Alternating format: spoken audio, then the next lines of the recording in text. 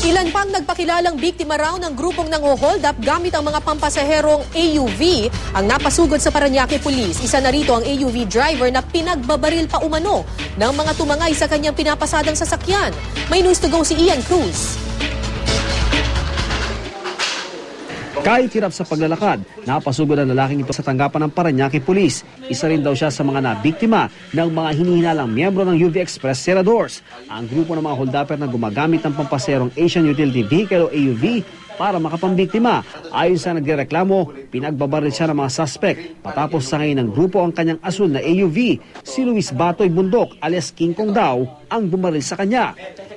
Ayun, pinababa ko yan. Si ano, King Kong. Ito si King Kong. Oo. Okay.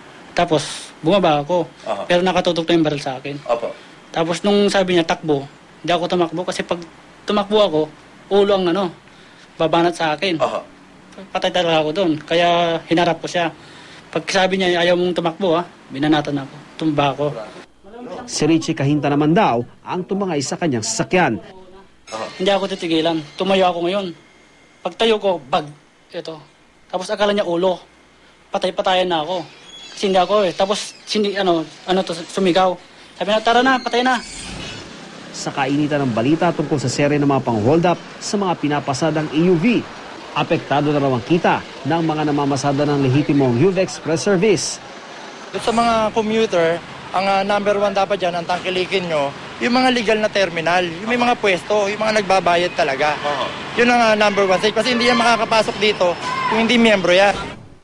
Tuloy naman ang kampanya ng PNP kontra kolorum. Posible raw na may gumagaya sa modus ng UV Exceradors kung saan ginagamit ang mga kolorum sa sakyan para mang-hold up. Payo ng pulisya, huwag nang sumakay sa kolorum na AUV.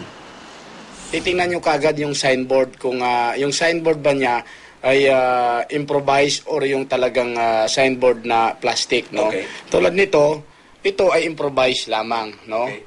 Ah, mapapansin nyo pag ah, sumakay na kayo ito ay kanilang ano tinatanggal Kung ang plaka ay hindi yellow at puti, po, kolorum na yun. Ang mga private vehicles na ginagamit. No? Ian Cruz, GMA News.